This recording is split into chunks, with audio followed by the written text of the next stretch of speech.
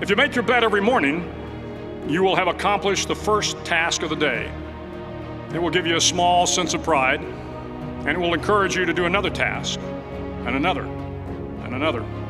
And by the end of the day, that one task completed will have turned into many tasks completed. Making your bed will also reinforce the fact that the little things in life matter. If you can't do the little things right, you'll never be able to do the big things right. I have a few suggestions that may help you on your way to a better world.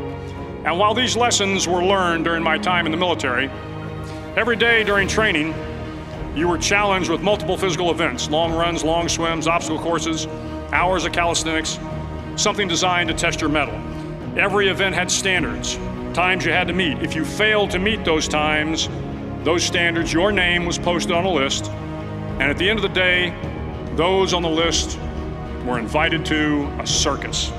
A circus was two hours of additional calisthenics designed to wear you down, to break your spirit, to force you to quit. No one wanted a circus. A circus meant that for that day, you didn't measure up. A circus meant more fatigue, and more fatigue meant that the following day would be more difficult and more circuses were likely. But an interesting, an interesting thing happened to those who were constantly on the list. Over time, those students who did two hours of extra calisthenics got stronger and stronger.